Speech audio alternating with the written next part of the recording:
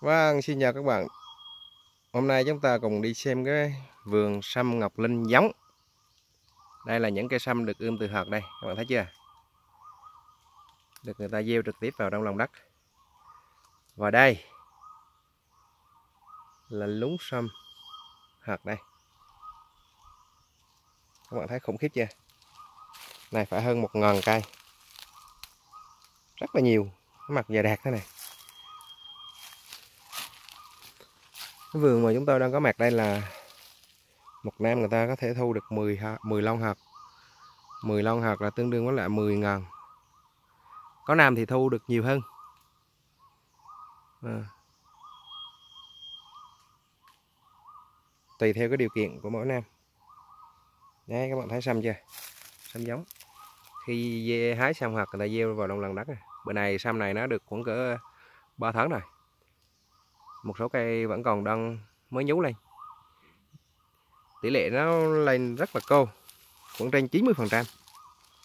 Vì à, khi người ta hái hạt thì những hạt lép người ta đã tự vứt rồi, cho nên là còn lại hạt chắc không à ở đây có một cây sâm đã trổ hoa rồi các bạn ơi. Cây sâm này sao đơn coi thế này? Sâm rất là to. Ồ. các bạn thấy cây này sẽ trổ sớm đây là cái hoa nó này. Wow cái hoa này phải được ở bảy, tám chục hạt đấy. Các bạn thấy này, mỗi cái nụ này là tương đương một hạt mà mình nhìn cả cái này thì biết bao nhiêu đây? Ừ. Đấy. Từ những cái này đến tháng 6 nó sẽ nở là tháng 7 nó thành hạt tháng 8 nó sẽ chín. Nó chín thì người ta hái hái hoặc à, người ta gieo vào đây. Đấy. Gieo thì nó sẽ đến bữa nay là tháng 3 năm sau rồi đây nó sẽ lên thế này các bạn thấy đã nha. Khi gieo người ta che cái lưới đen ở trên này. Đấy. để mà giữ. Ừ. Không cho mưa xuống. Ảnh hưởng. Cây này chắc ông chủ vườn này trồng một mình thế này. À đây một cây nữa. Cây này cũng có hoa rồi, mới ra. Cây này thì à, sớm rồi chuẩn bị nó sẽ nở hoa và nó cho hạt giờ chúng ta sẽ đi xem tiếp những cái luống hạt khác đây. Cái này thì à, hạt người ta gieo vào trong cái rổ. Rổ nhựa à, rổ nhựa hình vuông thế này nó cũng lên rất là đều, các bạn thấy đấy. Đều không? Đẹp. Dê trong rổ nhựa thì nếu có mưa thì cái hạt nó vẫn còn đạn lại trong này, nó không có bị trôi.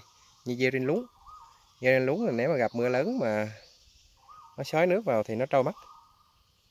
Còn trong cái rổ thì cho dù có lớn nhưng mà nhờ cái khe lỗ nó nó nhỏ và cái hạt xong nó vẫn đạn lại trong đó, không mất đi đâu được hết.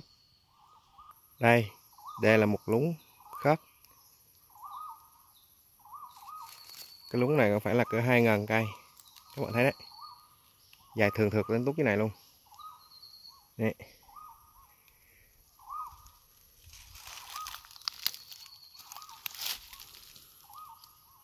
Thấy chưa?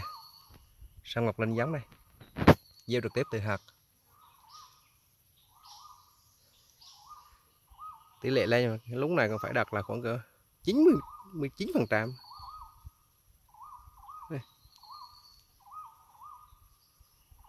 Vâng, bạn thấy đấy. Lên kính luôn mà. Này. như cái này thì nó vẫn có một cái cây đang lên đây, nó đây cái này này này các bạn thấy chưa?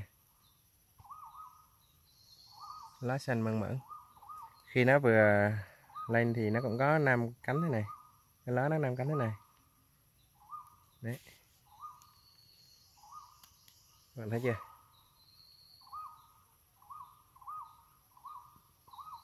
Nhiều người hỏi rằng là sâm ngọc linh ở đâu mà bón rất là nhiều dưới phiên chợ. Thì à, hôm nay cái vườn này đây mới có hai lúng đấy còn rất là nhiều phía trên nữa. Một lát nữa mình sẽ đi quay tiếp cho các bạn xem. Thì một năm người ta đã có chừng nái cây giống rồi. Thì các bạn tự hỏi thử. Và tự trả lời luôn nhớ cái câu hỏi. Là sâm ở đâu mà bán dưới phiên chợ? Thì à, một cây sâm bình thường khoảng cỡ 5 tuổi nó ra được 20 hạt với một cái vườn này vài ngàn cây như vậy cả chục ngàn cây như vậy thì cái lượng hạt mỗi năm các bạn biết bao nhiêu rồi? Từ những cái cây này sau khi người ta trồng à, từ hôm nay người ta trồng khoảng 3 năm 4 năm đi 4 năm bắt đầu nó sẽ ra hạt. Một cây chắc được 10 hạt. Rất là nhanh cấp số nhân. Đấy. Thì các bạn thấy đấy. Do đó là sâm ngọc linh đó, ở vùng Nam Trà My rất là nhiều. Bữa nay phải đặt trên 2.000 hecta rồi. Dưới tán rừng thế này. Đây. Trồng dưới tán rừng thế này. Các bạn nghe tiếng chim kêu không? Rất là hoang dã. Đây trồng sâm dưới tán rừng thế này. Rừng già như thế này mà nếu mà không có sâm thì chắc cũng không còn được những cái cây gỗ lớn như thế này này các bạn thấy chưa? Người ta người ta che tôn này lại để cho khỏi chục mùa mà cây sâm nó hạt nó gần chín là con chuột á. Trên này có con chuột chuột lông đỏ đỏ nó vào. Nó ăn hết ăn hết cây. Nên người ta phải che lại này. Đấy. Dưới những cái tán rừng như thế này có trên 2.000 hecta. Và sắp tới sẽ còn mở rộng nó nữa. Vì hiện nay là cái số hộ trồng sâm rất là nhiều. Nhờ cái giá trị kinh tế của cây sâm nó tăng lên thì bà con họ quan tâm họ trồng rất là nhiều. Đấy, các bạn thấy đấy đây không những trồng trong đất trồng trong rổ trồng trong chậu đây rổ nhựa này. Người ta mua rổ nhựa về người ta trồng thế này. Đây người ta trồng lên lúng các bạn thấy chưa? Đấy. Đấy để xem lại cái lúng hạt đây. Để zoom lại cho các bạn xem nhé. Đây đấy, lúng hạt các bạn thấy chưa? Rất là khủng khiếp. Đây là những cái lúng này người ta năm ngón người ta đã gieo hạt rồi. À, đây là một à, cái lúng nhỏ. Gieo hạt đây. Các bạn thấy đấy. Cái cây như này này. Đây. Hầu như lúng nào còn rất là đều. Năm nay thì ông chủ vườn ông gieo nhiều chỗ lắm. Không có tập trung một khu vực. Gieo nhiều chỗ để tùy theo điều kiện đất đai để thử nghiệm nữa. Các bạn thấy chưa? Đây sắm công chờ ngày. Đây. Các bạn xem này. Cái lúng này là người ta tỉa luôn. Tỉa từng hạt từng hạt chứ không phải gieo. Tỉa có nghĩa là để như vậy sau này nó không phải dời không phải nhổ đi ra ra ngoài nữa. Để như vậy là tự nó lớn luôn. Đấy. Các bạn thấy chưa nó tỉa luôn thế này. Đây, những cái cây như thế này này, sau này nó lớn luôn. Khi nào khoảng 3 tuổi người ta mới tách ra. Đây bạn thấy chưa? Đấy. như cái này là trước đây người ta tỉa này. Bây giờ người ta đã, đã, đã tách lần lần lần thưa lần ra. Đây. Đây. đoạn này thì thì tỉa. Còn đoạn này thì chắc này gieo luôn. Dài quá. Này còn phải tách. Năm nay phải tách đây. Các bạn thấy đấy.